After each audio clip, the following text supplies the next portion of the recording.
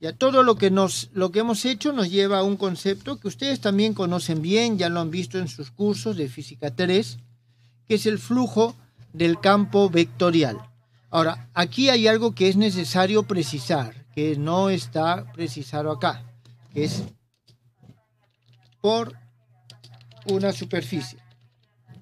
No podemos hablar de un flujo si no es que es por una superficie. Entonces, nosotros vamos a decir lo siguiente, sea S una superficie suave. Vuelvo a repetir que cuando hablamos de suave, esta puede ser suave por tramos. ¿Está bien? Y finita. Y finita.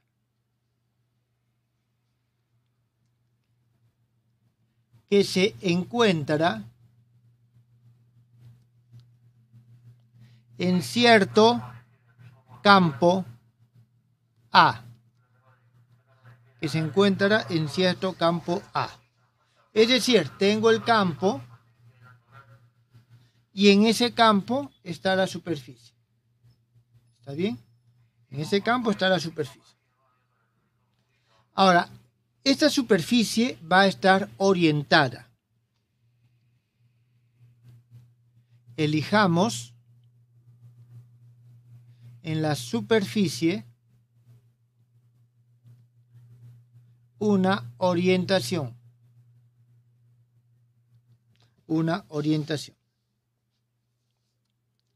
Cuando hablamos de orientación de superficie, a ver, esto no lo necesitamos en forma general, vamos a tener de que tenemos nosotros esta superficie.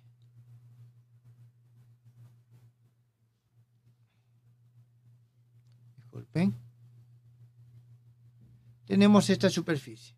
Entonces, nosotros, cuando lo orientamos, lo que hacemos es trazamos su normal. ¿Está bien? la normal que vamos a considerar externa y aquí lo hacemos girar según la regla de la mano derecha. Es decir, la orientación que vamos a considerar positiva es cuando nosotros realicemos algún giro dentro de la superficie de forma que se cumple la regla de la mano derecha con respecto a esta normal. Con respecto a esta normal. Entonces, en este caso va a estar orientada positivamente y si tomamos en sentido contrario va a estar orientada negativamente.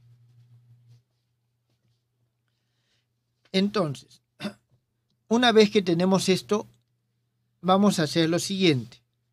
Eh, analicemos la siguiente función. ¿Qué función vamos a tomar? Va a ser una función del punto, una función del punto M. El punto M es un punto cualquiera, digamos que este es el punto M. En el punto M nosotros vamos a definir el valor de la normal. Este es el valor de la normal en el punto M. Entonces, nosotros vamos a hacer lo siguiente. Vamos a definir esta función como el producto escalar de A por n. Entonces, dado de que eh, A está definido en toda la superficie y tenemos n definido en toda la superficie, esta función, está bien, esta función está definida en todos los puntos de nuestra superficie S. Muy bien. Entonces, eso es lo que nosotros tenemos. Ahora, ya hemos escrito esto, vamos a ver cómo se instrumentaliza. Digamos que nuestro campo A es igual a un PI más QJ más RK. Jóvenes, aquí P, Q y R son funciones como las que hemos visto antes. P es una función de x y z, q de x y z, r de x y z. Y vamos a tener lo siguiente. Este vector n, este vector n va a formar cierto ángulo con los ejes coordenados. Por lo tanto, vamos a poder decir de que el n es igual a coseno de alfa i más coseno de beta j más coseno de gamma k. Eso es lo que nosotros tenemos. Entonces, esta función que hemos definido f de m es igual a este producto escalar y va a ser p coseno de alfa más q coseno de beta más r coseno de gamma. Esta es una función que es continua en toda la superficie.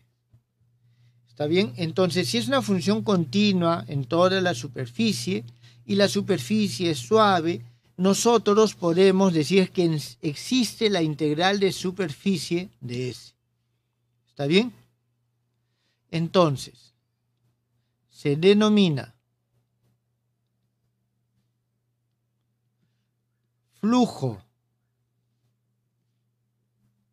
del campo vectorial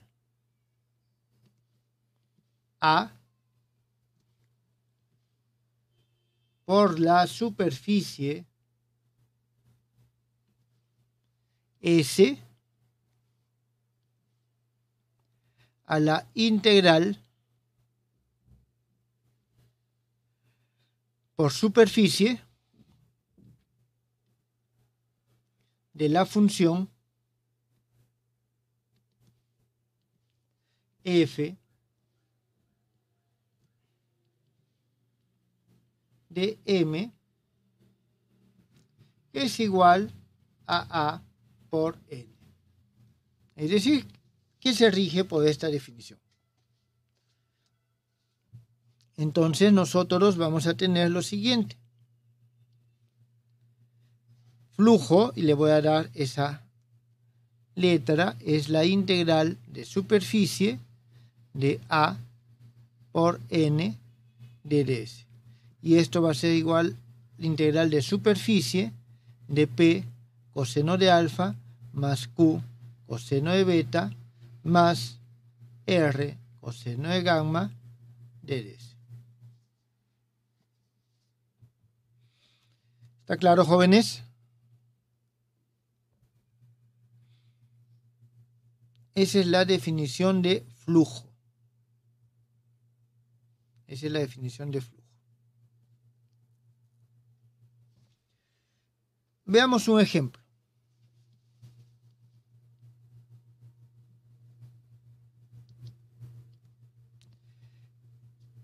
Dado el vector, aquí tenemos el vector A, que es igual a x más y y más y menos x j más z k. Calcular su flujo por una esfera de radio 1 con centro en el origen de coordenadas.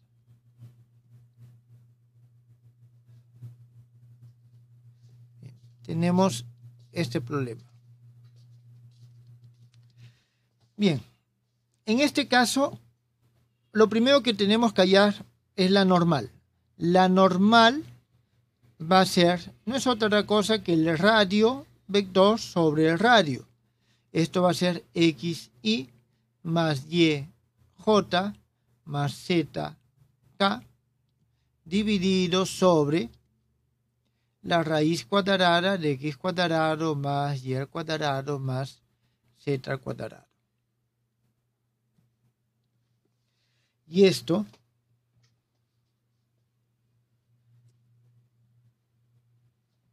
va a ser lo siguiente.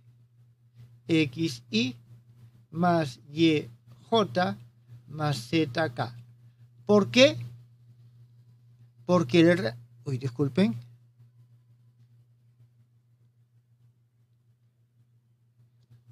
Porque el radio es 1. ¿Está claro? Este radio es 1. Condición. Por eso esto es así. Entonces, nosotros vamos a tener aquí que A por N va a ser igual a X más Y por X más X menos Y por Y más Z por Z. Esto es igual a, aquí tengo X al cuadrado más XY y menos X, eh, un momentito,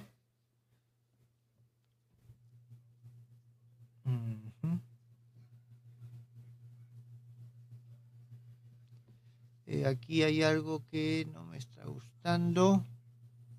Sí, me he equivocado acá. Y, x menos y y aquí es y menos x. y menos x. Entonces aquí tenemos xy menos xy se va, más y al cuadrado y más z al cuadrado. Entonces el flujo será el siguiente integral SA por N de ds igual a la integral de superficie de x cuadrado más y al cuadrado más z al cuadrado de ds. Pero en la superficie esto vale 1.